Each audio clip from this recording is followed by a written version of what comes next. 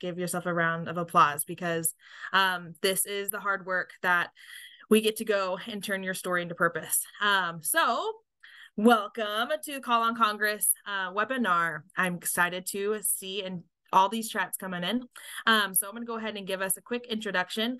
I am Olivia Henswell. I'm the Senior Program Manager with Fight CRC on the advocacy team. So I get to really hone in on the grassroots advocacy efforts um, here with Fight CRC. But I want to make sure that the full advocacy team does get a moment to introduce themselves. Brian, do you want to start? Of course, yes. Uh, my name is uh, Brian Thomas. I am the advocacy advocacy project manager here at Fight CRC. Brian is new to our advocacy team, so everyone give him a very warm welcome.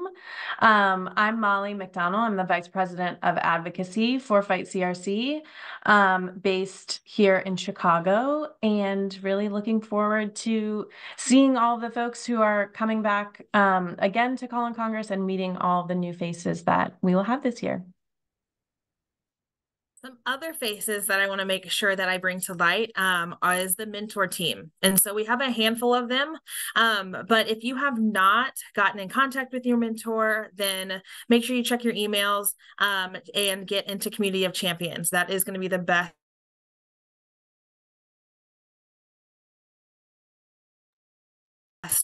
Did I just, I think I froze a little bit. Okay. Froze for a minute, but you're back. All right, I'm back. So something that I'm going to do is I'll include all of these points in a follow-up email after this um, one of those links is going to be into community of champions um, and that is going to be where you can find your mentor team. So we have got a handful of them um, these are the the faces that you can always find during call on congress um, and they will be able to help you as well. So make sure you give some love to your mentors. They work hard. They're awesome. All right. So for this training um, webinar some what we're going to go over is going to go over the call on congress agenda going over an advocacy overview, going over the call on Congress asks, uh, meeting with lawmakers and a Q&A. So you will be able to really um, get some good information uh, from this webinar that we will be able to use there in DC. And then if you have questions, just go ahead and answer or put them into that question and answer chat, um, and we'll be sure that we answer those. Okay, so going over the agenda, um, Saturday, March 9th is Flag Day. This is an optional day, um, but at 8.30, we will have the United in Blue Volunteer Day kickoff. Um, so just kind of like a mini rally that morning, um, really kicking off the, the Volunteer Day. Um, and, but then from 9 to 5, we will be placing flags there at United in Blue. Sunday, March 10th is kind of the Call on Congress kickoff day. So all these events are going to be at the hotel, the Holiday Inn at the Washington Washington Capitol. And so we'll start the day um, from 8 to 2. We're going to have a Call on Congress check-in. So whenever you have um, time within that, go ahead and check in.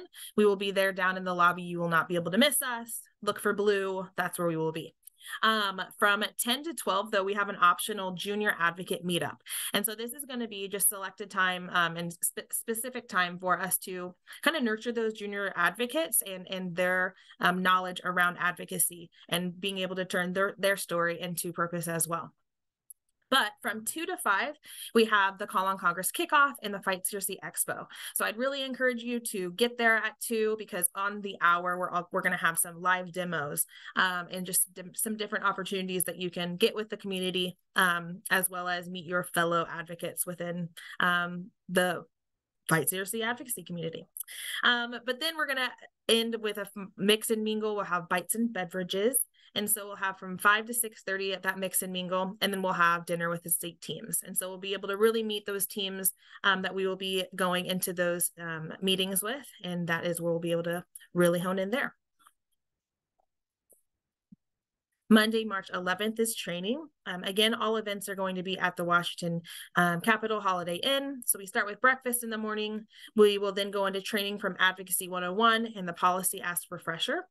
Um, we'll have lunch and then we will come back to training um, how to have a successful meeting with your members of Congress.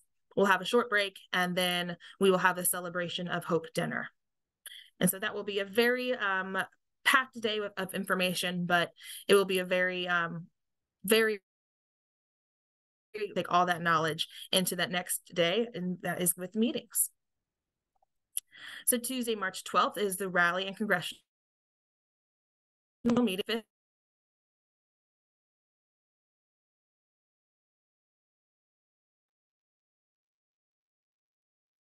Oh. We lost Liv. You back? I'm back. I don't know what's happening. Okay, hold on. What did you last hear? We just started on the rally day. Okay, perfect. Let me share this again. Okay. So rally day, we um are having breakfast early at the hotel from six to seven thirty. Um, we will start loading those buses at seven o'clock, um, and so we will be um, ushering people to the buses. So if you are done with breakfast by seven, we can get you over there to the rally early earlier, um, and you can be at that installation. Um, but rally at United in Blue will start at eight o'clock, um, and then we will have that moment there at the flags, and then we will get us through security starting at nine but then congressional meetings will start at 10. And so congressional meetings will start being scheduled at 10. It will go until 4 p.m. Um, and then from four to six, we'll have a call on Congress um, closing ceremony in the Capitol Visitor Center. That is optional, but it is a great way to invite your members um, to even come and meet more of the community.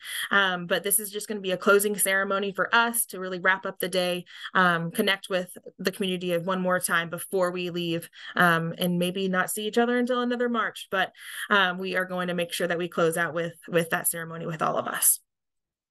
So one of the biggest questions what do I wear? So, what to wear? It's very important. March 9th, volunteer day. I would say comfortable, be layers, um, watch the watch the temperature. Um, March could, you know, in DC could be 65 degrees, it could be 35 degrees. So just make sure you keep an eye on that. Um, March 10th, which call on Congress kickoff and that dinner. Very casual. Um, come in, you know, comfort is key. So jeans, sneakers, fight CRC or CRC blue is great. Um, March 11th, the training and the dinner day. Again, casual for the training and the policy ask refreshers. Um, but the celebration dinner, um, I would say bring your best blue. Um, this could be a blue suit, cocktail dress, or jeans, blue shirt, whatever you feel best celebrating in. I will say that I'm gonna have a blue wig. So that's my best blue. Um, March 12th, I we've got that's the rally and congressional meetings. Business casual blue, nice jeans, slacks, of of, of course, comfortable shoes because we'll be walking through um the halls. And so that is gonna be within the um frequently asked questions document and link that I will send in the email um after this meeting. So you don't have to remember this. I'll send this out. Don't worry about that. But if there's any questions right now about right there before three or ten you know what? I would call um call the hotel and i can always provide that in the email. Oh i can answer that. Okay i'll answer that in the chat. Um okay i'm going to go ahead and kick it off to molly who's going to go over advocacy Awesome. Thanks, Olivia. Um, so now that you have kind of the lay of the land um, and what to expect, and like we said, we will send all of this information afterwards, so you don't have to memorize it here. Um, but obviously, you all kind of understand the value of advocacy because you're here. Um, but it's I just really want to stress how important it is and how much we appreciate and value that you're taking time out of your day and out of your busy schedules to come to Washington, D.C., to share your story and to advocate for um, you know these policies on behalf of the colorectal cancer community. Um, you know if we don't share our story no one else is going to do it for us. So it's just so incredibly important that we um, educate our members of congress and their staff. Next slide please um, and so what I really want to emphasize today, among other things, but is that you are your best advocate. You are the expert in your story. So we don't expect you to be policy experts and and your members of congress don't expect that we will give you all the tools that you need and all of the information that you need but don't feel like you have to know you know every single statute inside and out what you are your expert in is your story and that story is incredibly powerful and it's what our elected officials need to hear so they need to understand what your experience has been, what it's like being a part of the colorectal cancer community. Um, and so, you know, we want to really become a trusted resource for our members of Congress so that they can come to us when they have challenges and when they have questions around um, colorectal cancer. Um, and to really develop these champions who then can go forward um, on Capitol Hill and help advocate for policies that are important to us. Next slide. So this is again kind of some of more of the same, but um, you know, it's I think given um, the political climate these days, it can be um, easy to want to sort of shy away from advocating, shy away from, you know, engaging with your elected officials, and and I don't blame anyone for that.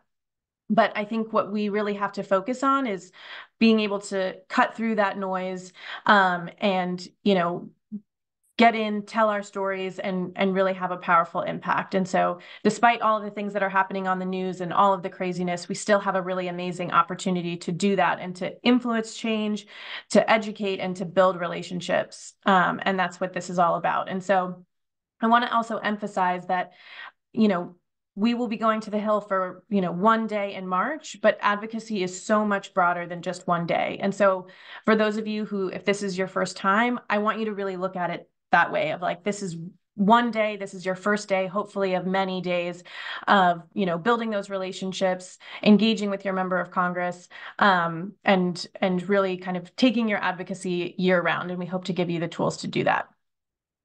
Next slide. Um, and so what i'm going to do now is um, go over our policy asks for this year. So a couple of notes on this. One if you haven't um, taken our um, advocacy training in Community of Champions, I highly recommend that you do that. Um, so that's a self-paced um, virtual advocacy training in our online platform, Community of Champions.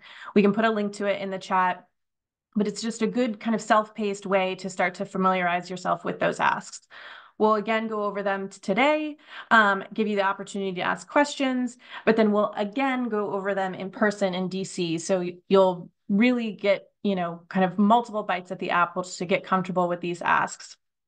Um, in addition, when we're in DC, we'll have speakers who can kind of speak to um, these programs in real life and what they really mean. I know that's a lot of acronyms, it's a lot of numbers, um, and so we're going to really do our best to try and break it down and, and bring things to life. Um, and the other thing I want to mention is that the reason that why we focus on these asks in particular, so I'll get into them in a second, but they're both um, funding related asks. So this time of year is known as appropriation season on Capitol Hill. So basically that's budget season.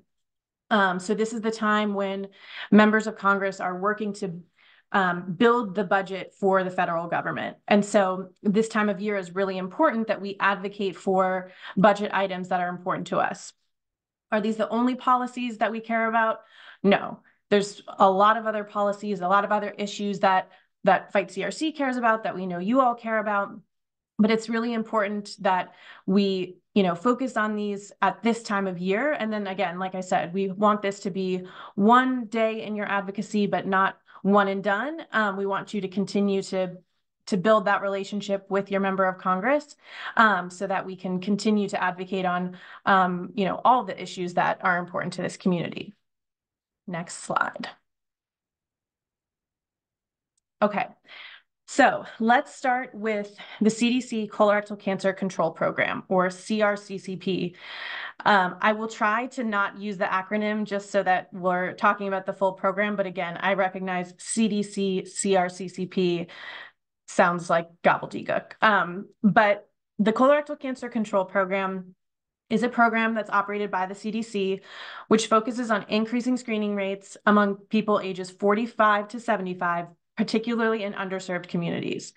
So the C the colorectal cancer control program um, funds um, programs through health departments, university, universities, and tribal organizations. So it's a grant program. So they provide grants to most often it's clinics to help them implement different strategies to help increase colorectal cancer screening rates in those communities. So again, it's often primarily in underserved communities where the screening rates are really, really low, and they need additional support to help get people screened. So to currently they fund 35 programs in 32 states. Um, and so what our hope is that we can ultimately increase funding for this program so that they can expand their, their work to additional clinics and additional states. Um, and so what's important about the colorectal cancer control program is that um, they really use strategies that have been proven to be effective for increasing colorectal cancer screening.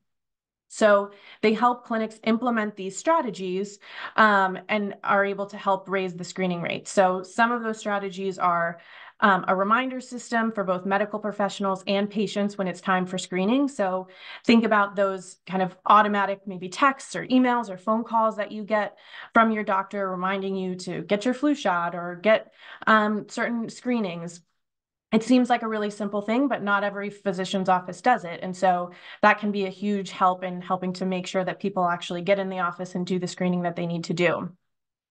Um, they also help with strategies um, that make it easier for patients to come in. So um, as many of you probably understand and maybe have experienced, there's a lot of barriers that exist just getting into the door to get screened, whether it's um, getting there, you know, transportation, whether it's childcare, taking time off of work, um, you know, complications with the paperwork, um, not understanding the process. Obviously, with um, colorectal cancer screening for colonoscopy in particular, you have to do the prep before you come in. And so, kind of having people there to help um, walk folks through that process is another really helpful tool that that folks use.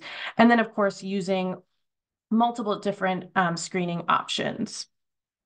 Next slide. So what is our ask?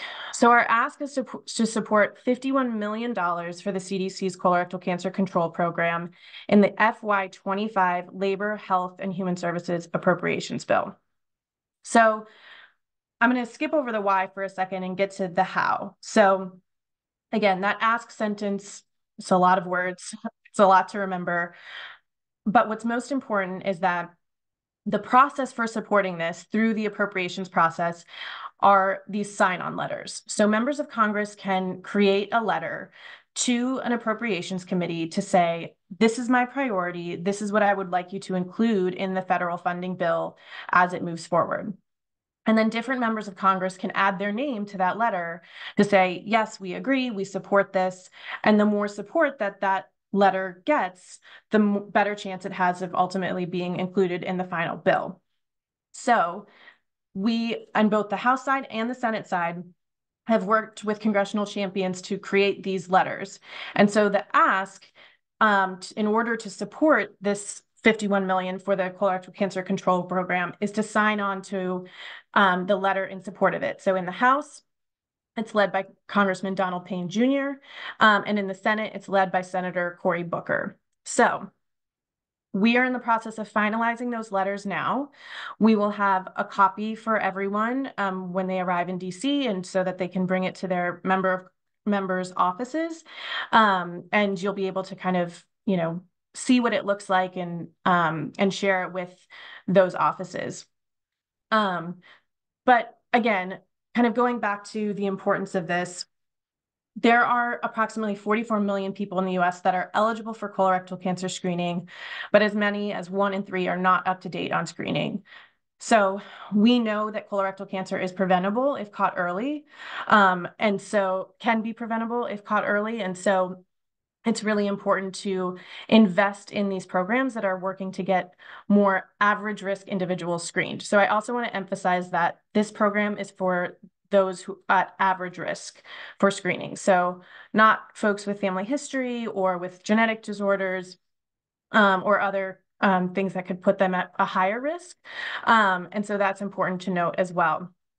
And so this $51 million is an increase of um, just about $7 million. And so um, we are hopeful that, again, that this will help, um, you know, allow them to expand the good work that they're doing um, and ultimately get more people screened and hopefully save more lives. Next slide, please. Okay, ask number two, more acronyms. Um, so if we want to kind of put our asks into buckets, the colorectal cancer control program is in the screening bucket. Um, and the um, this next asks ask is in the research but bucket.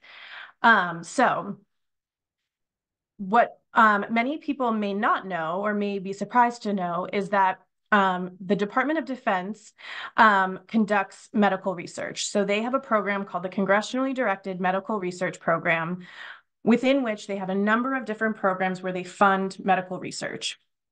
Um, and so those topics are identified um, each year by Congress.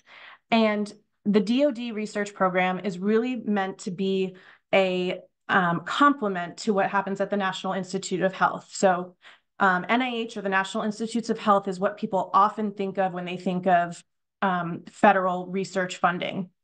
Also incredibly important. Um, but DoD medical research is, um, you know, kind of thought of as a little bit more high risk, high reward. Um, some of the pro, um, projects that might be a little more out there that maybe the NIH wouldn't be comfortable funding. Um, and so it really creates a really nice complement um, to to NIH um, research funding. Um, and they really focus on solutions that will lead to cures or meaningful improvement in patient care, in improvements in patient care. Um, and they also really work to include consumer advocates or patient advocates throughout the process. So we actually, you know, have um, advocates who have sat on their consumer review board. So looking through the grant proposals to help understand, you know, from that patient lens, um, would, is this something that would be meaningful to patients?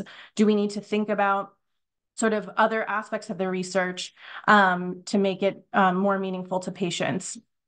And so within the congressionally directed medical research program, there are some programs that are disease specific. So for example, there's a lung cancer program, there's a breast cancer program, there's an ALS research program. Um, but then there's also buckets that are kind of more catch-alls. So there's a program called the Peer Review Cancer Research Program. That's kind of a catch-all bucket that um, cancers can be eligible for, and then they compete against one another for a limited pot of dollars colorectal cancer has been eligible for funding through the peer-reviewed cancer research program um, almost since its inception, so um, for over a decade. Um, so we are grateful that colorectal cancer is receiving some funding through that program, but every year, one, we have to fight to make sure that colorectal cancer stays as, in, as part of that program. And two, each year, the number of cancers that are in that program has grown. So now there's even more cancers that are competing for, again, that limited pot of dollars. So next slide. So we believe that it's important that colorectal cancer receive its own research program within the Department of Defense Congressionally Directed Medical Research Program. So Again, colorectal cancer is the second leading cause of death for men and women combined, and it's increasing in young people. Um, it's now the leading cause of cancer death for men under the age of 50 and the second for in women.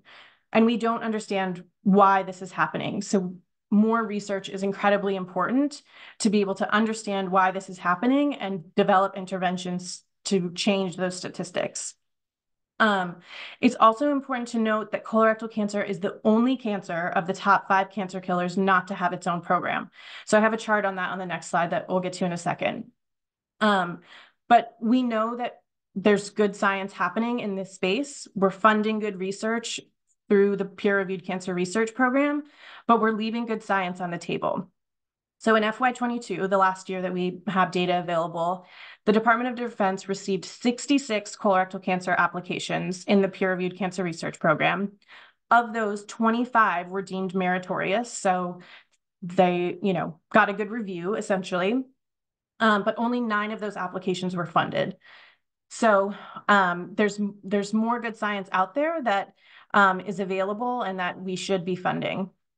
Um, and so again, um, the way that we can ask our members of Congress to support this is to sign onto a letter that's led by our champions in support of this ask.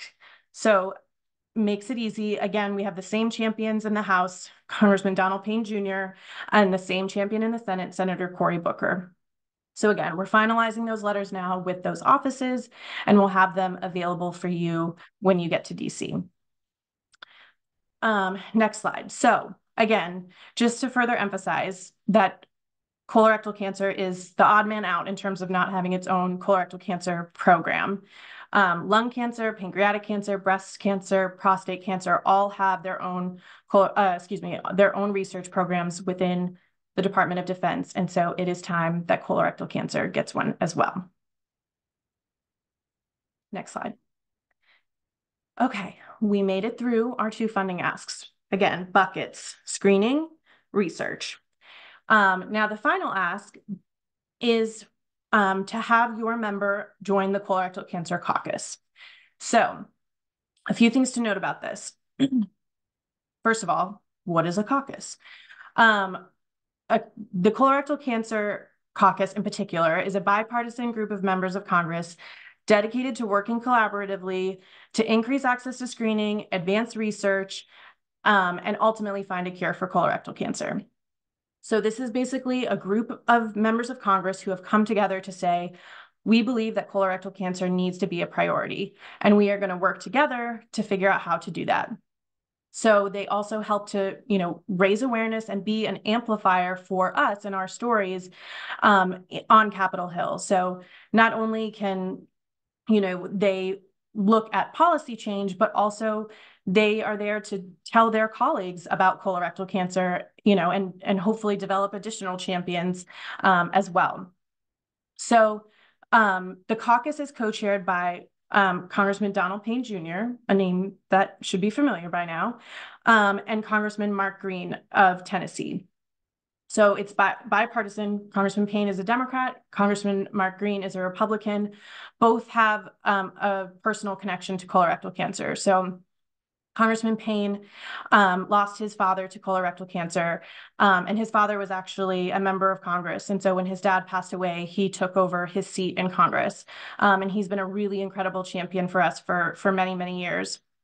And then Congressman Green um, is a colorectal cancer survivor himself. And so um, he's new a new co-chair to the caucus. So we're grateful to have him and again have that bipartisan support. Um, next slide.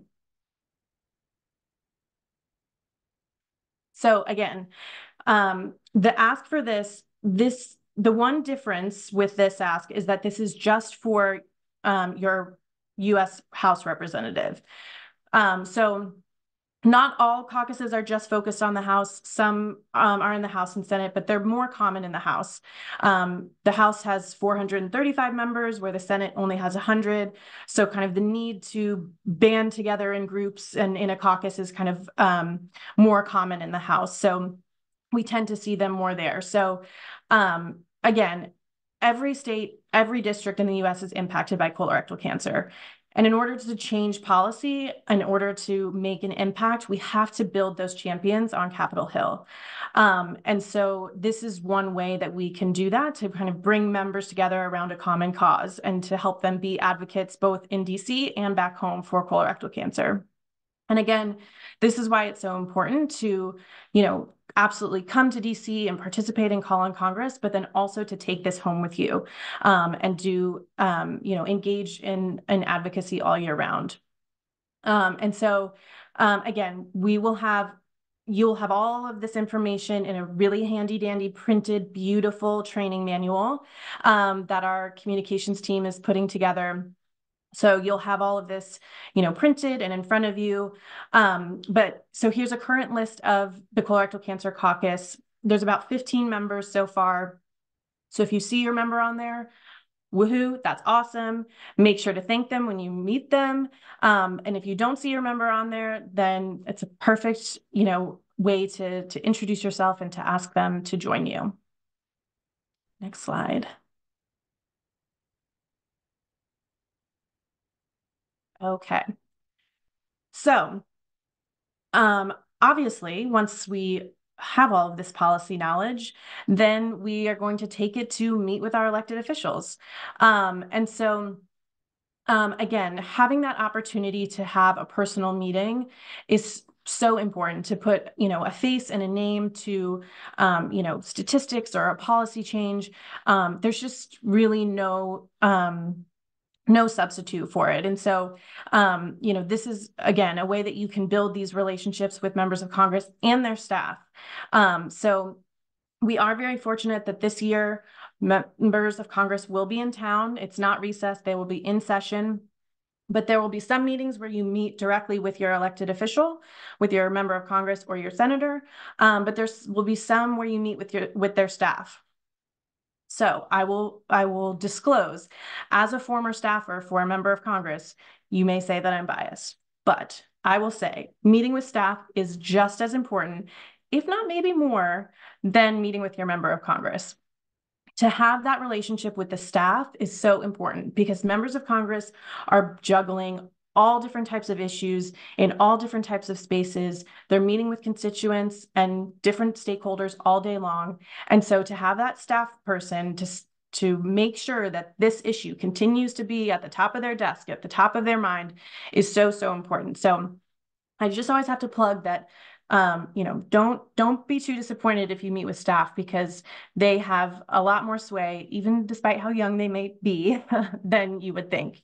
Um, and also, I just want to reiterate again, I recognize that um, again, there are many, many issues that um, we care about as a colorectal cancer community. And so I don't want folks to feel like, okay, if this these two these three issues that we're um, advocating for is not what was at the top of your list that um, you know that it's it's um, you know not worth it or something like that. It's so important that we're able to have a shared consistent message um, because that just strengthens what we're saying. If we have all of us together um, saying the same thing that's so much stronger than all of these voices saying something different and again, this is just one opportunity to engage with your members of Congress. There are opportunities all throughout the year that you can, you know, continue to engage them and to continue to talk about um, all of the issues that are important to you um, as um, their constituent. Next slide. Okay, so next, I'm very excited to introduce um, a special guest of ours, um, a returning Call on Congress advocate um, and 13-year colorectal cancer survivor, Kathy Bowers. Um, so she's going to talk a little bit about sharing your story. So that's obviously a huge part of what we're doing in DC. And um, the way that you would share your story um, to your member of Congress looks different than you might share it with a friend or family member or perhaps in a media interview. And so really kind of focusing how you tell your story and, and honing that is really important. And so Kathy's going to give you some tips and tricks for how to think about that and how to do that. So Kathy, if you want to come off of mute and we'll let you take it from here. Good evening, everybody. Thank you, Molly, for that very nice introduction. Um, as Molly said, I'm a 13 year survivor of stage 3B rectal cancer. And last year was my first year at Call on Congress. So the advocacy team thought it may be a good idea if a somewhat newbie could give some suggestions on what I learned during my first year and um, some takeaways that I have. So the first thing I'd like to talk about is something that's really important, and that is putting together your story. And the reason why I'm saying keep your story brief, because I know that probably sounds, but I have a lot to say. Of course you do. But I, I was really surprised at how fast our meeting goes. And you may only, your team, your state team may only have 15 to 20 minutes um, to talk to your representative, congressperson, or their, their employee, their aide. So here's some suggestions I'm going to make. Start thinking now how you want to present your story. So think of about five to six sentences that will explain your story as best as possible. Write them down and start reading them and memorizing them. So you have your story down. As soon as you walk into that meeting, you're ready to go. Um, and I think another important thing is to practice, practice, practice, even practice with your team. There's plenty of time for you to meet with your team. You can practice with each other. Um, at that point, you may want to decide you go first, you go second, you go third. So you're very organized before you actually go into the meeting. And um, also, um, I guess the next thing I wanted to talk about was the, the policy ask. Now, Molly did an absolutely fantastic job of explaining them, but I don't know about you, but that's a lot of information and it can be overwhelming. So I'm going to suggest you really start paying attention to those policy asks now and te- trying to teach your teach yourself them as best as you can now, so that you're prepared when you attend uh, Call on Congress. And the other reason why um, really try to start learning those policy asks is it can be part of your story. When you tell your story, you may be able to add on, incorporate how one of those policy asks could have helped you or is helping you. So the bottom line there is keep the story brief and add on the policy ask if you can. Um, and now I want to suggest something else. And that is something that really helped me without me really even realizing it last year. And that is do some research on your lawmakers. Um, I kind of fell into that accidentally last year. I found out through some research and talking to a friend that my senator was very much into women's issues. And what and when I told my story, um, I said, yes, I was diagnosed when I was age age 50. And I was fortunate that the doctors believed me. And when I told them my symptoms, I immediately got a colonoscopy. But as I met other women in their 20s and 30s and heard their stories, and I was told how they weren't believed, um, it really made me angry. So I added that into my story and made it a woman's issue because I discovered that women's issues were very important to my senator. So um, we got a little bit of pushback um, from the legislative aide um, saying that, well, you know, the senator doesn't really play favorites. So, you know, that gave me a chance to do a little pushback back, especially because the legislative aide caught on to my uh, addition to the women's issues. And he actually came back to me after we all told our stories and asked me more questions and specifically said, Oh, I didn't know this was also a women's issue.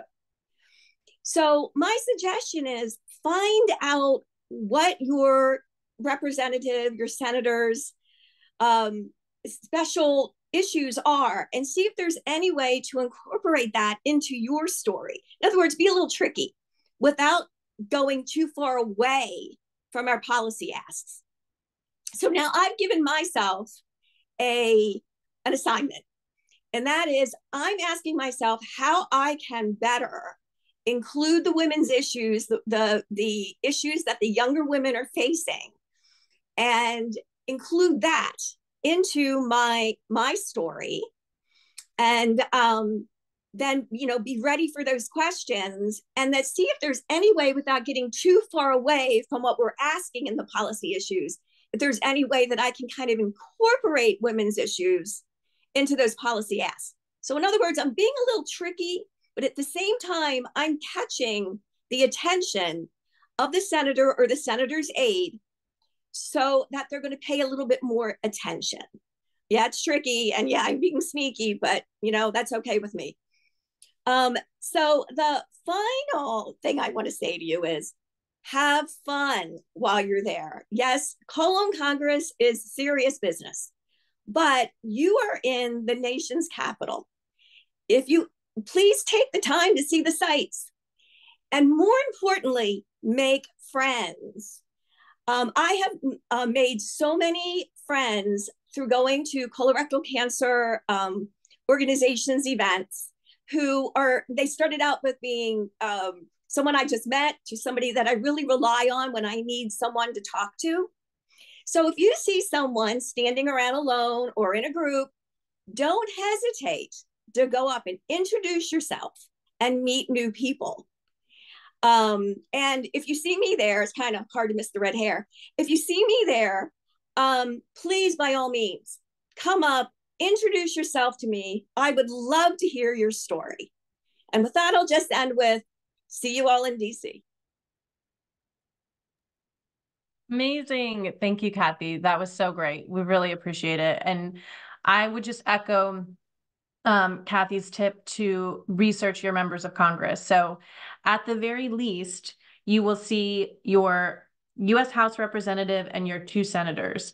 Um, and so to do a little research on them beforehand to figure out what issues are important to them, even to figure out where they're from, where they went to college. My old boss went to Lehigh University, and anytime someone came in and said, Hey, I'm a Lehigh grad, he always remembered that. And it was just a way to, again, continue to build that personal connection. So, um, okay, moving right along. Next slide. Um, so we I guess before we move to the next slide, but you can keep this slide up. Um, we a note that we took from folks last year is we will have a lot of dedicated time this year for you in your state groups. Um, so that's time to kind of sit and hone your story, figure out what you want to say, how you want to connect it to the asks, but also to sit with the group of folks that you're going to be going from office to office with to figure out who's going to say what, how you want the flow of the meeting to go, and kind of make that game plan before you get in the room. Um, and so, again, we'll go over all of this stuff again in person in DC. But at a very high level, kind of the general flow of your meeting is you're going to start with introductions. Um, each person can go around briefly share their story certainly where they're from. Um, again they love to kind of know where their constituents are and where they're from. Um, and so make sure to include you know your town when you're introducing yourself. Um, and then you'll have the opportunity to present the policy asks. So again, in your kind of pre-game meetup with your group, you can can um, kind of divvy up who's going to talk about which ask, who's most most comfortable, who has kind of um, has it down, and and maybe in meetings you kind of go back and forth. So maybe with one meeting, one person presents the DoD ask, and another meeting another person does it. But you guys can kind of figure that out beforehand um, as a group. Um, and then you know you'll have time for discussion. So um, some staffers may not have any questions, some may have a lot. Um, and so you can kind of have that back and forth. Um, again, if it's totally okay if you don't know the answer to something, um, definitely don't make it up. Um, it's perfectly okay to say, you know, I don't have the answer to that, but I'll get back to you um, with the answer. And that's actually a great way to to kind of keep that relationship going, to do that follow up, to email them after, to be like, hey, remember when we met? This is the answer to that question.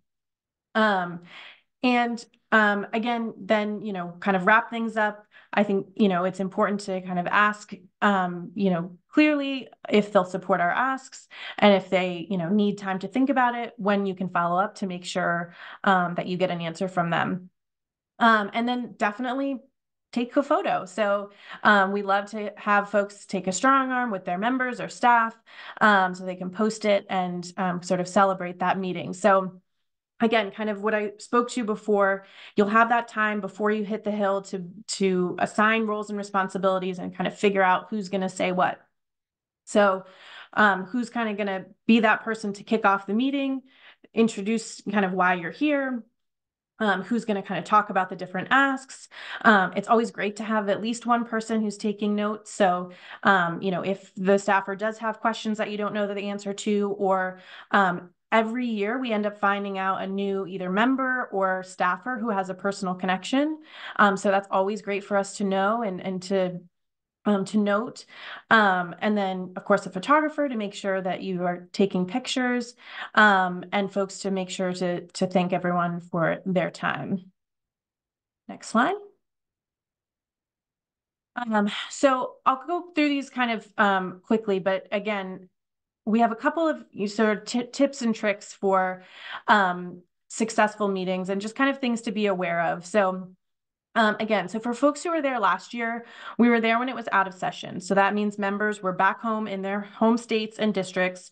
So it was just staff that were walking the halls. it is a completely different environment when the House is in session. So you will have, if you came last year and you're now coming this year, you'll have it, you'll see it's a much busier experience. People are running all over the place. There's hearings, there's votes, there's all different sorts of things going on. So um, flexibility is key. Um, there might be last minute changes to your meeting schedule, and I'll talk about that in a, in a second. Um, you might be meeting in a hallway or in kind of a corner of an office instead of, you know, sitting down at a, a couch. What you'll find in the House versus the Senate Senate offices tend to be bigger. There's sort of more space to meet. Um, House offices, some can be really teeny tiny, and you've got five staffers that are shoved basically in a closet all on top of each other. Um, and so meeting space um, becomes at a premium. So again, don't take offense if you're standing in a hallway. You can have just as successful of a meeting standing in a hallway as you can sitting on a fancy leather couch. Um, and um, in terms of timing, so most meetings max you'll get probably 15 minutes. Some staff may be able to take longer, maybe you'll get 20, 25, but particularly during an in-session day, particularly during March, which as I mentioned before is this appropriation season. It's a very, very busy time on Capitol Hill. So they are going to be back to back with lots of different meetings. So that's another reason why it's really important to kind of have that plan before you go in so that you can, you know, get to the point, get the things that you need to say said um, in that allotted time. Sometimes um, your meeting might start with the member. They'll be there for five minutes and have to run, and the staff will take over, or they'll pop in at the end, kind of, you know, shake everyone's hand and take a photo. So again, that's why it's really important um, to to really build that relationship with the staff. Again, like I said, if you don't know the answer to the question, that is totally okay. It's a great opportunity for follow up. Make sure that you note it down, and we'll um, either help get you the answer or we can follow up with the office directly. Um, another thing to note, if this is your first time coming to Capitol Hill, many of the staff are very young. Um, some of them are fresh out of college. If they're not fresh out of college, some of them might look like they're fresh out of college or even younger. Um, so don't don't let that um, dissuade you from you know still having a great conversation with them um, young as they may be, they have a lot of influence and, and a lot of power and a lot of, um, you know, opportunity to, um, you know, help build priorities for their boss. So um, don't be, uh, don't be too shocked by that. Um, do try and stay with your groups. We don't want, you know, folks to, to get lost. Um, and again, as I've said several times today, advocacy is not a one-time activity. So that follow-up is really key. Um, and we will help you with that too. We've got a we'll have a template letter of kind of a thank you and follow-up that um, you'll be able to send to your offices afterwards. Um, so you can kind of continue that drumbeat. Um, and so I think, oh, next slide. Okay, so um, I haven't looked at the question box yet because I tend to get distracted if I look at the questions while I'm presenting, but um, perhaps there's a question in there about scheduling. So um, for Call on Congress, we take care of all of your scheduling needs. And by we, I mean our lovely consultants, Soapbox. Um, and so they are the ones that are reaching out to the offices, building your schedule, um, and, and um, making those meetings with your member of Congress.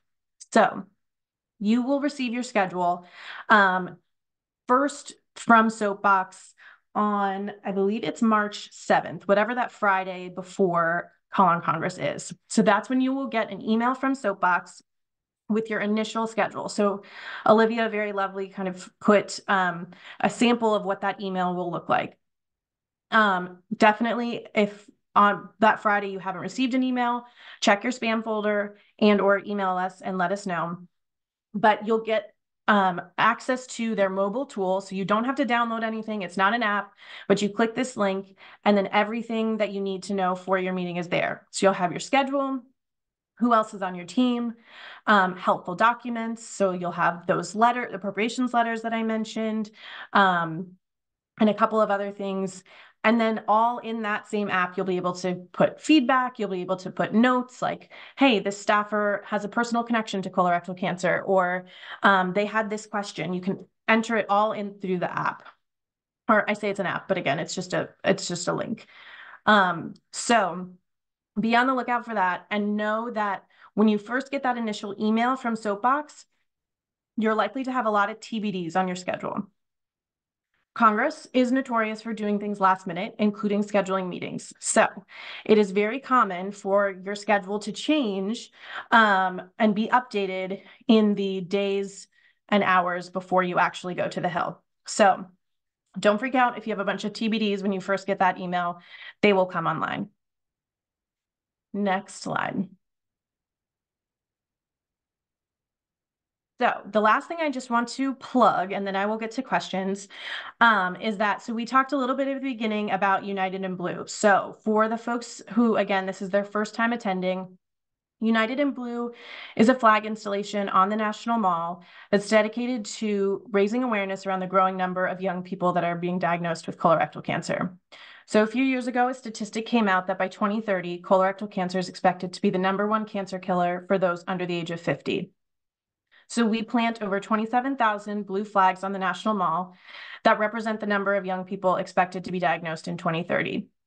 So it's a really powerful um, visual representation um, of this community and of what we're facing. And it is on the front lawn of Congress. So when they look out their window, this is what they will see.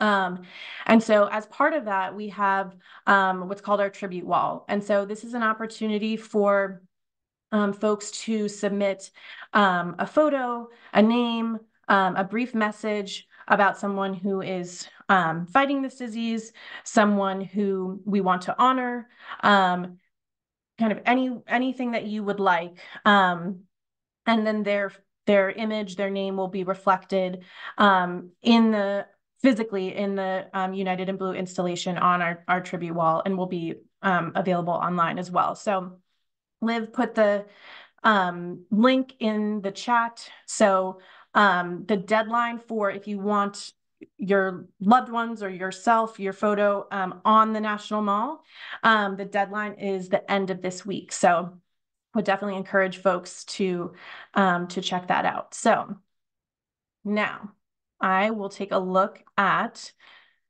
the questions. Um, so again, if you have questions, feel free to put them in the Q&A box um, or the chat. Um, how long has Fight CRC been asking for the CDMRP? So um, by way of sort of brief history, um, we, our Fight CRC's founder, Nancy Roach, helped get colorectal cancer as part of the peer-reviewed cancer research program back in its inception. So there was one year, um, the first year of the peer-reviewed cancer research program, colorectal cancer was not included, but since that second year, colorectal cancer has been included. We have been advocating, I believe this is our third year now for um, colorectal cancer to have its own program. So um, it's definitely challenging. This um, CDMRP has gotten a lot more attention um, in recent years as you know, kind of another vehicle for medical research. Um, we've also been in pretty challenging budget environments, so um, it's definitely, um, you know, kind of a challenge to to um, get this, um, you know, through the finish line. Um, but each year we've built the the number of members of Congress who have supported this ask. So we're making good progress on kind of building that level of support and, and continuing to push things forward. Um, will we know if our legislators have signed on to any of the asks? So we will do our best. Um, the um, mem so in the House, Congressman Payne's office, and in the Senate, um, or Senator Booker's office, they manage sort of the incoming um, members who are signing on to the letters. So we will get kind of the most recent update from them as to who signed on to the letter but it's likely that this will be early on in the process. So um, again, if you've been to call on Congress before, sometimes um, this has been at the tail end of the process where the letters are um, closing or soon to close. Um, this will likely be at the beginning of the process when the letters will be fresh, so to speak. So we'll be able to kind of have the first bite at the apple at um, getting folks to sign on. Um, Next question. Um, what specific dollar amount are we asking for in the DoD CDMRP for colorectal cancer?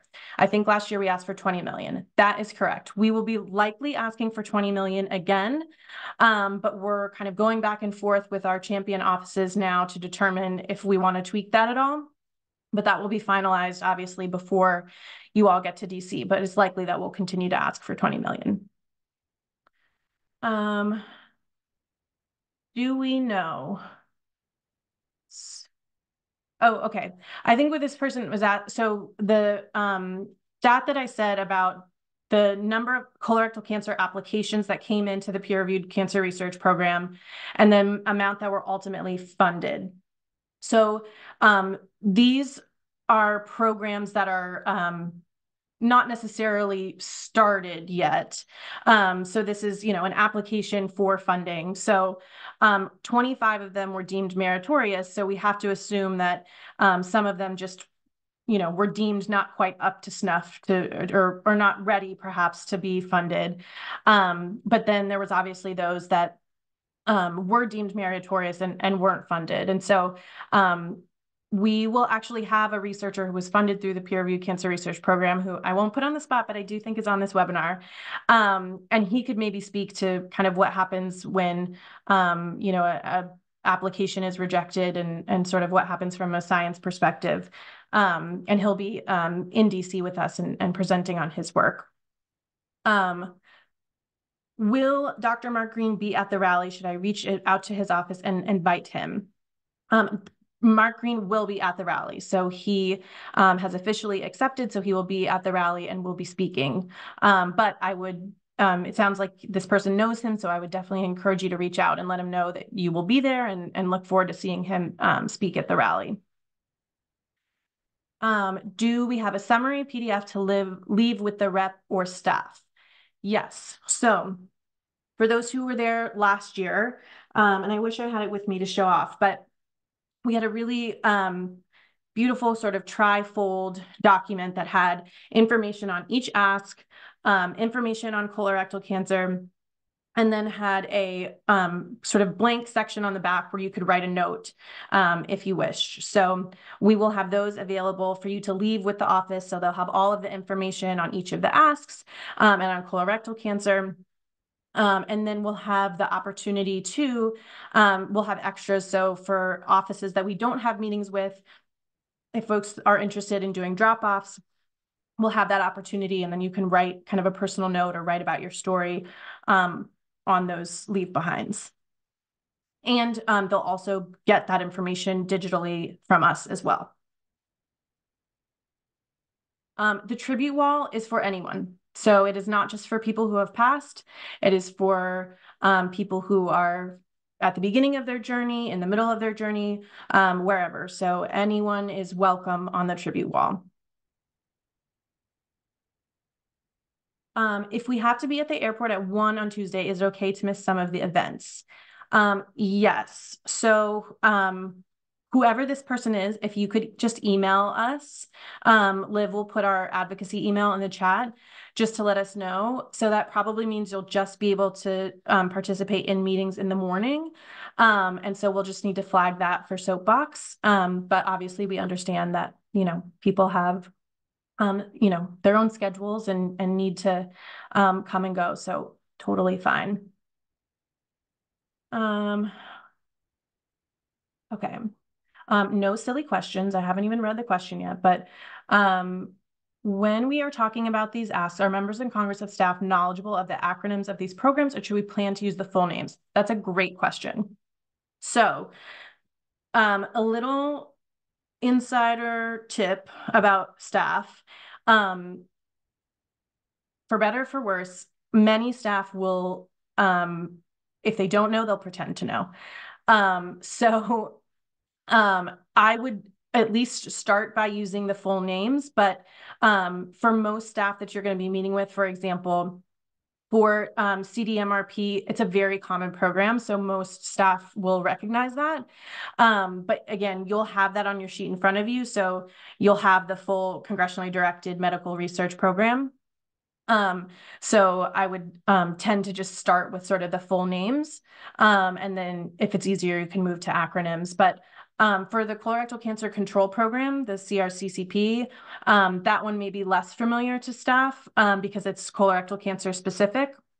Um, so that one I would definitely um, try and use the full name um, of the program. And and just sort of bigger picture, you will get some staff who are very familiar with these programs, have worked on them, know them inside and out. And you will have some staff who are maybe brand new to the office or brand new to the issue area um, and know very little about it. So um, I tend to suggest that you approach it as if um, they don't know anything about the program. And you can always say, you know, not sure if you're familiar, but this and that. And, and they'll, you know, maybe say, oh, you know, I've worked on it in, in this way and, and kind of give you a sense of, of how much they understand. But um, certainly on, you know, your experience and your story, um, that is where I would really emphasize that they have very little knowledge. So of course there's staff and there's members that have a personal connection. Um, but um, you know, I think a lot of people, um, you know, don't know a lot about colorectal cancer. And so to be able to share your experience and your story um, is going to be really, really illuminating for both members and staff. Um, okay.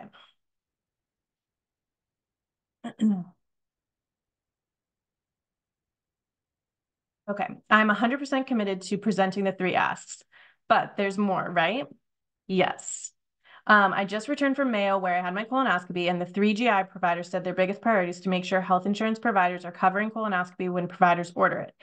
Is there a place for this during call on congress? If not, can you steer us how to pursue this? Okay, great question.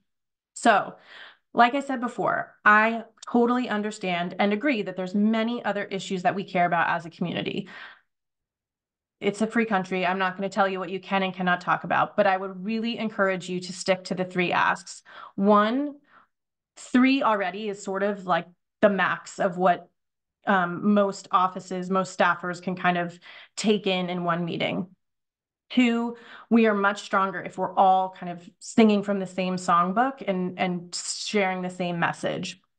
Um, so I'd love to talk to you more um, offline about kind of the particulars of what you're talking about, but we've um, advocated for, um, you know, um, if a person gets a non-invasive colorectal cancer screening test to make sure that that follow-up colonoscopy, if they get a positive result, um, is covered by insurance we certainly, um, you know, would advocate for um, folks that you know have signs and symptoms and need to get a colonoscopy are able to do so. We've advocated for folks that need surveillance colonoscopy, um, uh, you know, more often than the sort of ten year traditional window.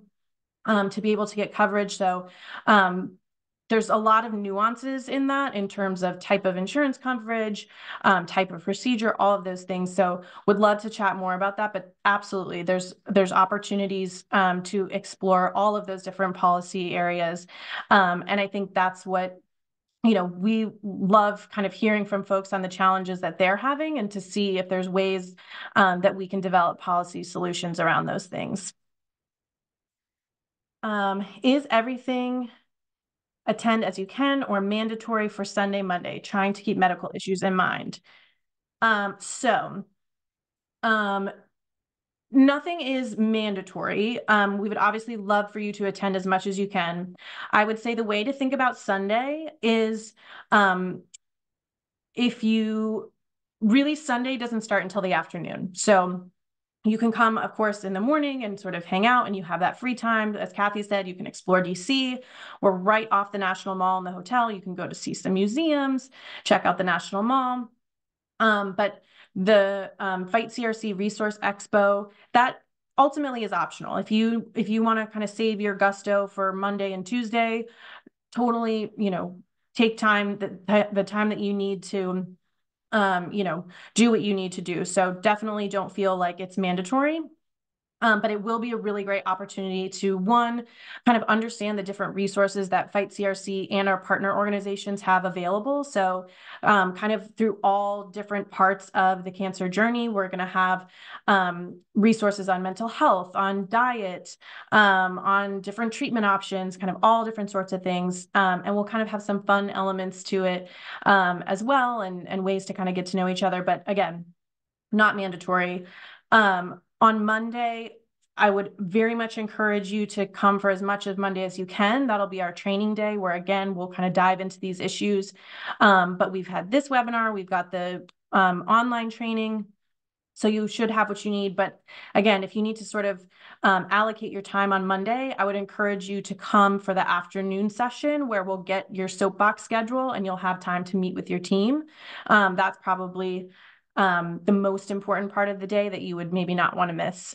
Um, and then Tuesday, when we go to the Hill, you know, if there's any sort of, um, uh, you know, things that we should know about your schedule or um, kind of what you need, again, just shoot us an email and we'll do our best to um, accommodate everyone's um, everyone's needs. Um, okay, I participated in CDMRP PR, CRP peer review in November. It was a full circle movement from Call on Congress in March. It changed my life. That's amazing. So yes, as I mentioned, um, the DoD Congressionally Directed Medical Research Program um, has consumer reviewers who um, review the applications that come in. So this is a really awesome opportunity um, for patients to have a seat at the table and help kind of steer what direct what research gets funded um, and what's important and what's not. So um, I think that's amazing that you were able to do that and um, not to put you on the spot, but hopefully we can hear more about your experience um, when we're all in DC. Um, okay, flag planting, placing them in the ground. Can you use a litter picker? Um, that's a good question. Um, I can't say I have a deep familiarity with litter picker to see if it would work, but definitely worth a try. Some of it will depend on um, the weather. Um, so the first year that we did United in Blue, when we showed up that morning to plant flags, there was a very thin layer of snow on the ground. Um, so as you can imagine, the ground was um, a little tough. Um, so putting the flags in the ground was um, a little bit tougher. Um, but again, we are we'll do our best to make any accommodations. If you need you know we'll have chairs available. Um, and again sometimes it's just um, there's other jobs at flag planting besides kind of bending over and putting the flags in the ground. So um, we'll there's other opportunities if um, you know if it's not good for your back to be bending over and putting the flags in the ground. So um, we can definitely find another job for you. And one of those jobs could just be encouraging the people who are putting the flags in the ground. That's a very important thing too. So um, okay, I think there are some. Um, okay, will there be any accommodations for individuals in need of DME? Um, yes. So again, if you um, have or need a wheelchair in DC, please shoot us an email um, beforehand, and we will um, we will make sure that you're accommodated. So um, if we need to kind of rent something for you in DC or make sure that um, you kind of have those capabilities, we will make sure that um, that's all taken care of. Just please um, shoot us an email at advocacy at fightcrc.org. Um, um, and then are we able to bring photos of our loved ones? Absolutely. So um, if you are there on behalf of a loved one and want to um, share their story and have a photo of them, I think that's a, a wonderful thing. So um, definitely encourage you to do that if you're comfortable with it. Um, and I think is, um, you know, definitely a, a great and effective way to tell your story. Okay. Um, it appears that there are no reps in the CRC caucus west of Nebraska. Is this a short-term anomaly or a long-standing issue? Um, I would say um, I don't I, I couldn't really tell you what that is. So the caucus um has was um basically has to be restarted every two years. So the House, um, a, a, Congress is two years. So House members are up for election every two years. Um, and so we are um, just sort of in the middle of the the current Congress. So, um, to you know, it's just sort of a nature, um, a matter of um, maybe those offices haven't been asked, or um, you know, maybe we just need to get some more advocates um, that are west of of Nebraska. Um, but this is the perfect opportunity to help build out our support in that part of the country. So um, I have a lot of faith that we'll be able to build out that contingent this March. Um, do I have people that I will be with this year? Um, okay, so everyone in the chat, their name is coming up as Olivia. So whoever you're reading, I can't see who you are. Okay, um, I had a feeling that maybe this was actually so. Um, we this is actually a great question because there's a lot of folks um, who we have certain states that a lot of people are coming from a state. So California, for example, obviously huge state. We've got a lot of people coming from California. So the California group will most likely be broken up to maybe three or four different groups so that there's not, um, you know, 20 people going to each meeting. But then there's also states where maybe we only have one person from. Um, and so we will not let anyone go alone unless you really want to. um, so um, this particular person, Ashley, um, sh she was stuck with me last year going around because she was the sole person from Nebraska. So we'll have to look and see if there's any other folks, but either we'll match you from with other people from your state, or if there's not another person from your state, we'll match you with someone from a nearby state so that you all can kind of go together with to people from your region or um, we will have either you know myself or another one of our staff or mentors um, who have you know kind of had experience at Call on Congress and gone around before um, we'll match you with them so that um, you know you're not alone and you kind of have a buddy to to go to these different offices with um, but yeah, Ashley and I had a great time. We had a great experience. Um, and um, she's a pro. So she uh, you could well we won't make you go alone but i know you could handle it if if you did um and then um how many advocates are signed up to attend this year great question liv can tell us the exact answer but it's over 200 um and again over half are first time attendees which is really really cool um so um, you know, I think Kathy spoke to it earlier. Um, Ashley was a first time attendee last year. Um, it's just a really amazing opportunity to connect with other people from the colorectal cancer community. It's an amazing, amazing group of people. Um, I just think there's just nothing like it. And I know that you all have an amazing experience. Okay. This all seems very overwhelming as a first Call on Congress attendee. Is it fast paced and as overwhelming as it sounds? I'll say yes and no. So I don't, I know that this is overwhelming because it's a lot of information. And part of it is that we just want to tell you all of the things and all of the questions that you might have. But again, when you're there in the moment, we'll have a lot of activities for you to do, but we've also really tried to carve out downtime that you can be in small groups with your state, with the groups that you're going around on the Hill with, so you can get to know those people and kind of get comfortable in these issues in what you're going to say um, and so in terms of sort of um, the pace, you know, I went through things really quickly today. We'll have a lot more time in DC. We're gonna have a, this was, you know, an hour and a half. We'll have a whole day, all of Monday in DC to kind of walk through um, all of these issues in more depth. You'll hear from um, like I said, a researcher who's funded um, by the DoD who's doing colorectal cancer research, so you kind of get a better idea of the program and you know what it really means. Um, we'll have um, someone who's a grantee of the colorectal cancer control program. So again, you'll kind of get to know what these programs look like on the ground um, and kind of dive into them a little more. Um, and you if you're feeling overwhelmed, we have so many resources at your disposal. And by that, I mean people who want to help you. So, myself, Olivia, Brian, there's a whole team of Fight CRC staff that is some of whom are on the call today and they're hidden, um, but many more that you'll meet when you're in DC who want nothing more than to hold your hand through this process, um, literally or figuratively, whatever you're comfortable with. Um, and there's also all of the Call on Congress mentors. There's people like Kathy who have been before. Um, there's other folks who are, you know, five and 10 year veterans of Call on Congress who want to welcome you into this community and into this process and this experience. Um, so I know it can feel a little overwhelming, but I promise that we're here for you um, and that we will help get you what you need.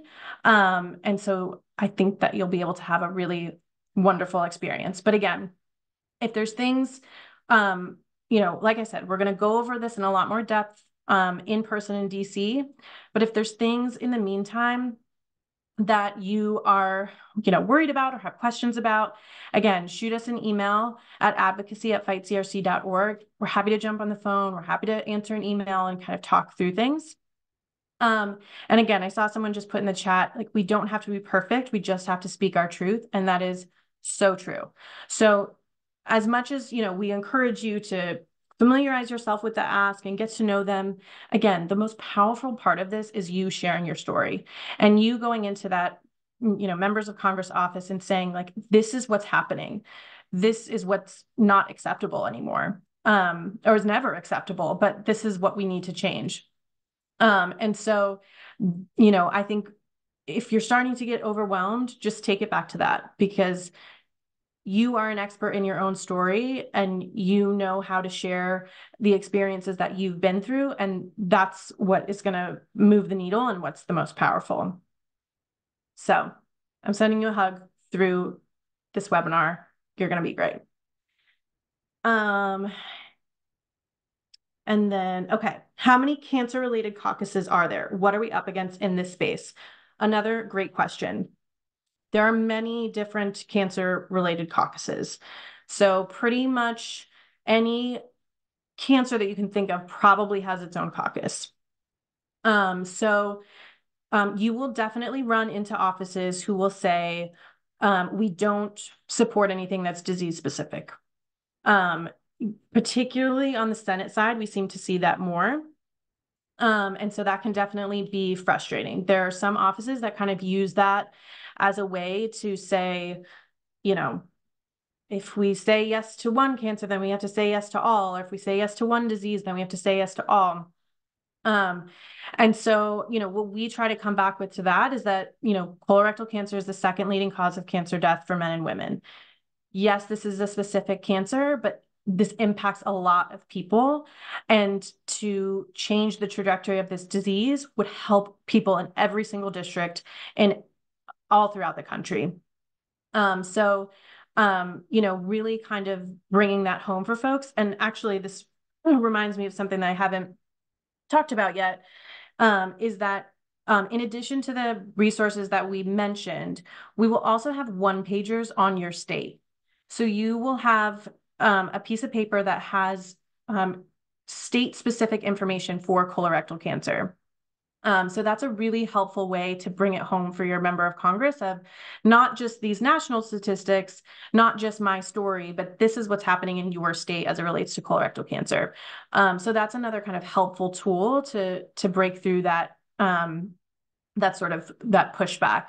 Um, but it is, you know, important for us to recognize that um, members of Congress and staff are meeting with constituents in not just other cancers, but many other different types of diseases. So they are juggling a lot of different um, priorities and requests from their constituent.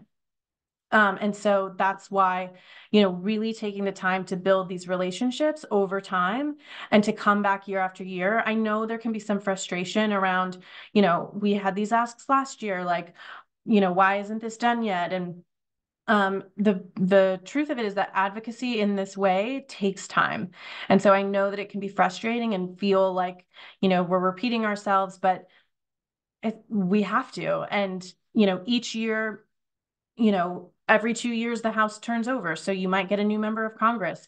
Staff turns over all the time. So we have to continue to have that drumbeat and continue to push forward um, and and year after year come back because that consistency is what will ultimately help us be successful.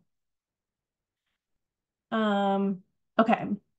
Um connecting your story to stats then to the asks is important. I literally saw the lights go off in a staffer's eye when i did this last year um, and their interest level changed. Um, I'm also the one who did the PRCRP. Awesome. Thank you, Shannon. Um, so yeah, I agree. I think that can be um, really helpful to to do that. And so we'll also have um, a worksheet um, available on, on that Monday training day um, to um, kind of help you you know physically write down your story and draw those connections um, to uh, the asks. So again, that's kind of why I talked about it in the different buckets. I know everyone has a different experience. And so maybe someone connects with, you know, a screening and prevention asks more. Maybe someone connects with a research ask more. But I think regardless of what your story is, you'll be able to find a place of connection with one of our asks. Um, and so again, if that's something that you're struggling with, shoot us an email. We'll also, again, have time to do that in person um, and kind of think through that all together um, and make sure you feel confident um, going in to these meetings.